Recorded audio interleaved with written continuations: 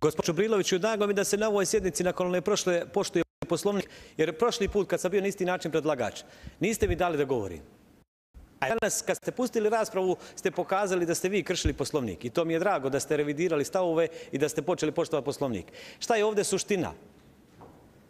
Ovdje je suština što vi kršite osnovne principe parlamentarizma jer ne može E, većina u Narodnoj skupštini da ugaši ostatak koji neće da bude dio većine i da im e, e, onemogući svaki vid parlamentarne borbe. Dakle, naše je pravo koje nam vi usporavate da predlažemo zakone i zakonske rješenja, da se o njima raspravlja, da vi kažete šta ne valja, uložite amadmane, ne usvojite. Ali vi ne želite uopšte da bilo koji prijedlog opozicije, čak jedan amandman koji stavimo na vaš neki zakon, vi ne želite da prihvatite, a priori se odbija čim to dolazi iz opozicije. Dakle, vi, želi, vi kršite osnovne principe parlamentarnog djelovanja i rada bilo kog parlamenta u svijetu, koji su uspostavljeni prije više od stotinu godina u svim razvijenim normalnim državama.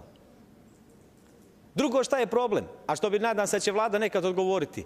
Jedna od razloga što je SDA izgubila vlast u Sarajevu, u kantonu Sarajevo, je činjenica da su implementirali e, donaciju OSCE-a koja ima jedan program u kome je baza podataka o svim primanjima, školskoj spremi i političkom angažmanu svih radnika u kantonu Sarajevo. I vi sad odete u kanton Sarajevo, kliknete i izaće vam taj i taj član upravnog odbora te i te institucije ima toliku i toliko nagradu. To mu je školska sprema, toliko ima primanja.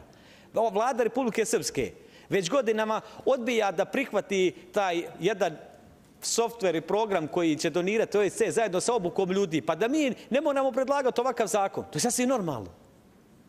I da vi imate svakog službenika u svakom instituciji Republike Srpske, kažete, ta i taj radi na tom i tom mjestu, ima toliko i toliko platu, to i to je po zanimanju. To i to je završio fakultet. To je program koji se ubaci i svaki građani može da gleda. I taj program, što je jako bitno, ne omogućuje da se ubace podaci za onoga ko nije ispunio uslove da, da se nađe tu. To je jedan od suštinskih problema. Vi ne radite transparentno. Kome je problem da se zaštite uzbunjevači? Pa valjda bi ova rada, ako se država raspada od kriminala i korupcije, valjda bi bilo logično da vlada zatraži pomoć građana i kaže mi hoćemo, mi tražimo vašu podršku, prijavite gdje vidite korupciju, mi ćemo se asjeći svoje da počistimo svoje redove. To bi bilo sasvim normalno. Bio sam u Švedskoj. Ministarka pala, znate zašto? Zato što je kupila jedne toblerone sa karticom na trošak države. Jedne toblerone nema tolerancije. I zato je Švedska gdje jeste, pogledajte gdje smo mi.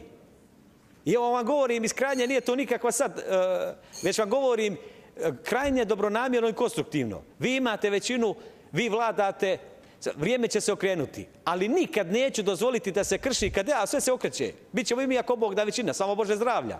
Nikad neću, više ću voditi račune o vašim pravima, nego o pravima ljudi koji će biti dio većine kad ja, ako budem nekad dio neke većine. Jer je to osnovni princip demokratije. Znate da je Marko Milano pisao da je čovjstvo mnogo veće i vite, od junaštva i viteštva. A vi ovdje kršite osnovna ljudska prava poslanika. Osnovna poslanička prava da predlažemo, da pišemo, predlažemo zakone. Ja ne znam šta ima loše u onom zakonu o zabrani prodaje kapitala offshore kompanijama. Možete sutra ali to privodu prodate, vidim da ste spremili, začešljio se luka.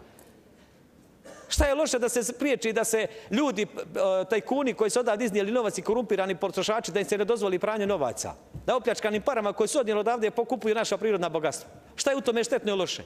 Ništa. Osim ako neko ima par ličnih interesa. Zato od vas, ovo nije, tek smo prva godina mandata, dakle, omogućite svakom poslaniku normalan rad, da diskutuje, da predlaže zakone, da, da ulaže amandmane, da prihvatite neke sugestije. Niste vi papa, samo je rimski papa ne pogrešiv. Svi mi pogriješimo, hvala Bogu. Ajde kad pogriješimo, kažete, jeste, to je greška, to ćemo popraviti. A ne da sve a priori što dolazi opozicije skidate sa dnevnog reda. Ne dozvoljavate diskusiju. I još hoćete da mijenjate poslovnik i da kažete mi ćemo limitirati vrat, ovo, ovo što imamo prava poslanički da nas uzbijete. No pasaran, to vam neće proći.